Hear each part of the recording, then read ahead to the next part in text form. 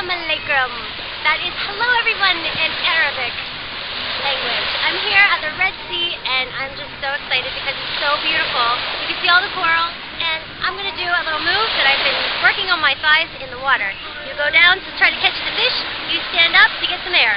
So this is the move and we work through our waist to get develop those nice strong muscles of the core.